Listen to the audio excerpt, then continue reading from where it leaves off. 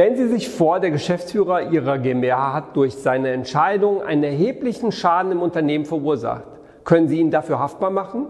In diesem Video zeigen wir Ihnen, wann und wie eine Schadensersatzklage gegen einen Geschäftsführer möglich ist und was Sie dabei unbedingt beachten müssen.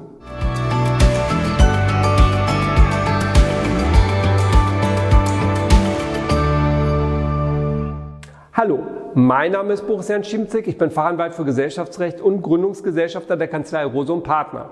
Ich befasse mich regelmäßig mit den Fragen der Geschäftsführerhaftung und mit Klagen gegen Führungskräfte. Heute beleuchten wir den Schadensersatzprozess gegen Geschäftsführer. Hier ein kurzer Überblick zu den behandelten Themen. Eingangs besprechen wir, wann eine Klage in Betracht kommt. Wie läuft so ein typischer Prozess ab und wer muss was beweisen? Unter drei beschäftigen wir uns mit der Frage, wie eine professionelle Vorbereitung einer Schadensersatzklage aussehen sollte. Und abschließend gibt es eine kurze Zusammenfassung. Ich schlage vor, dass wir direkt starten. Let's go!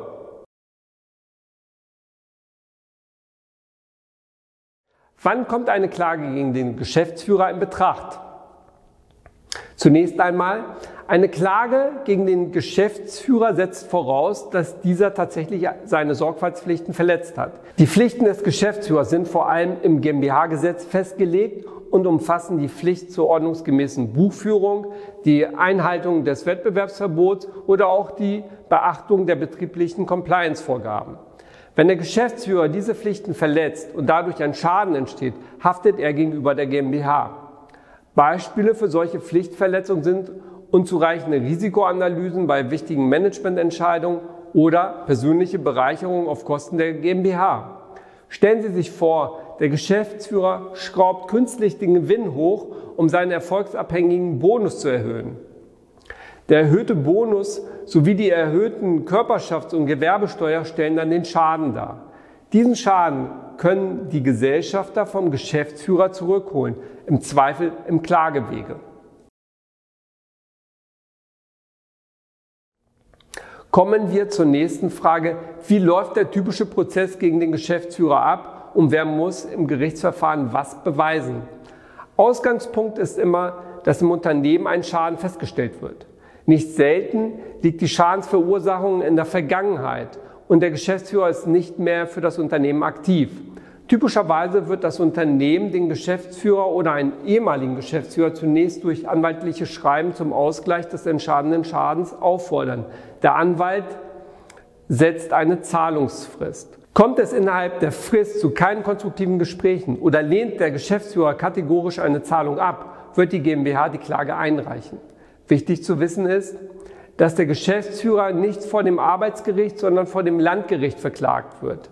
Dies gilt auch für den Fremdgeschäftsführer, also für den Manager, der über keine Beteiligung an der Firma verfügt. Das Gericht stellt die Klageschrift dem beklagten Geschäftsführer zu.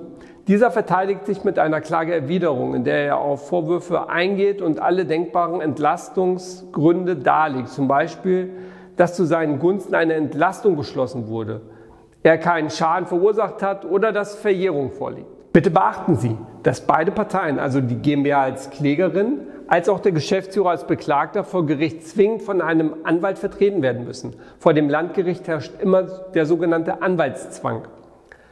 Während des Gerichtsverfahrens werden beide Seiten den Sachverhalt und ihre Argumente darstellen. Wie so oft werden bei komplexen Verfahren wie bei den Managerhaftungsprozessen die Schriftsätze mehrfach ausgetauscht. Beide Parteien benennen und bieten dem Gericht Beweismittel an, um ihren Vortrag zu stützen. Präsentiert werden zum Beispiel Dokumente, Zeugen, Sachverständige. Die Beweislast ist im Rahmen von Managerhaftungsprozessen etwas komplex. Bei der Frage, wer was vor Gericht zu beweisen hat, gilt Folgendes. Die GmbH muss darlegen und beweisen, dass der Geschäftsführer durch seine Handlung einen Schaden verursacht hat. Nachvollziehbar begründen muss sie auch, dass der Geschäftsführer pflichtwidrig gehandelt hat. Der Geschäftsführer trägt dagegen die Beweislast für die Einhaltung seiner Sorgfaltspflichten. Das bedeutet, er muss nachweisen, dass er sorgfältig gehandelt hat oder dass der Schaden auch bei sorgfältigem Handeln eingetreten wäre. Das Gericht setzt schließlich einen Termin für die mündliche Verhandlung an. Im Rahmen der mündlichen Verhandlung wird das Gericht die Parteien anhören. Üblicherweise versucht das Gericht einen Vergleich, also eine Einigung herbeizuführen. Das Gericht erörtert mit den Parteien den Sachverhalt und die Rechtslage. Es kann Hinweise geben, wie es den Sachverhalt und die Rechtslage vorläufig beurteilt. Scheitert der Güteversuch und eine Einigung zwischen den Parteien, wird das Gericht einen Beweisbeschluss erlassen. Es beschließt, welche Beweise erhoben werden müssen. Danach folgt die Beweisaufnahme, zum Beispiel die Vernehmung von Zeugen. Nach der Beweisaufnahme wird die mündliche Verhandlung fortgesetzt. Beide Parteien erhalten die Möglichkeit, nochmals den gesamten Prozessstoff rechtlich zu bewerten und die wichtigsten streitigen Positionen zusammenzufassen. Schließlich stellen die Parteien ihre Anträge. Wenn der Streit urteilsreif ist, erfolgt die Urteilsverkündung. Dabei gilt nicht der Grundsatz alles oder nichts. Wenn das Gericht der klagenden GmbH nicht in allen Punkten folgt, erhält sie nur teilweise Recht. Konnte die Verteidigung des Geschäftsführers beim Gericht richtig punkten, wird die Schadensersatzklage der GmbH abgewiesen. Dann wird das Gericht auch festlegen, dass die GmbH die Prozesskosten des Geschäftsführers tragen muss. Ein Urteil wird immer schriftlich begründet und schließlich beiden Parteien zugestellt. Wenn keine der Parteien Berufung gegen das Urteil des Landgerichts einlegt, wird das Urteil rechtskräftig. Wie sieht die richtige Vorbereitung der Schadensersatzklage aus, damit die GmbH den Prozess gewinnt? Ein Managerhaftungsprozess ist immer komplex und umfasst viele rechtliche und tatsächliche Fragen. Eine gut vorbereitete Klage ist das A und O. Wenn Sie mich fragen, wie die richtige Vorbereitung aussieht, dann empfehle ich Ihnen mindestens vier Schritte. An erster Stelle steht die rechtliche Bewertung des Schadensersatzprozesses. Ein erfahrener Anwalt muss ausgiebig die Erfolgsaussichten der Klage prüfen. Es gibt sehr viele Hindernisse für eine Klage. Hindernisse können auf rein rechtlicher oder prozessualer Ebene liegen. Erst wenn der Anwalt nach intensiver Prüfung grünes Licht gibt, geht es einen Schritt weiter. Von großer Relevanz ist auch die Frage, ob der vom Geschäftsführer verursachte Schaden von einer DNO-Versicherung abgedeckt ist. Eine DNO-Police steigert nicht nur die Bonitätsfrage auf der beklagten Seite, sie kann in vielerlei Hinsicht taktisch von Vorteil sein. Zum Beispiel kann eine DNO-Police dazu führen, dass am Ende gar nicht der Geschäftsführer verklagt wird, sondern direkt die Versicherung. Dies ist denkbar, wenn der Freistellungsanspruch des Geschäftsführers gegen die Versicherung an das geschädigte Unternehmen abgetreten wird. Nach der Prüfung oder sogar schon im Rahmen der Prüfung der Erfolgsaussichten der Klage empfehle ich die Beweissicherung und Beweissammlung. Alle relevanten Dokumente und Beweise müssen gesammelt, insbesondere wichtige Dokumente und digitale Dateien gesichert werden. Sind die Beweise erst einmal gesichert, tut auch keine Beweisvereitelung. Wenn es um Hunderttausende oder Millionen geht, sollte man nichts dem Zufall überlassen.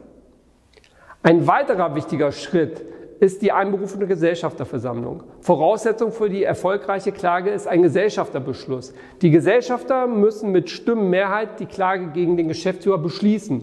Ohne Beschluss ist die Klage und der gesamte Aufwand vergebens. Erst dann erfolgt die Einreichung beim Landgericht. Das Landgericht ist zuständig, weil es bei der Managerhaftung immer um hohe Schadensersatzsummen geht. Oft steht mit so einer Klage auch die Reputation der Beteiligten sowie hohe Prozesskosten auf dem Spiel. Mit einer professionellen Vorbereitung lässt sich ein Fiasko vermeiden.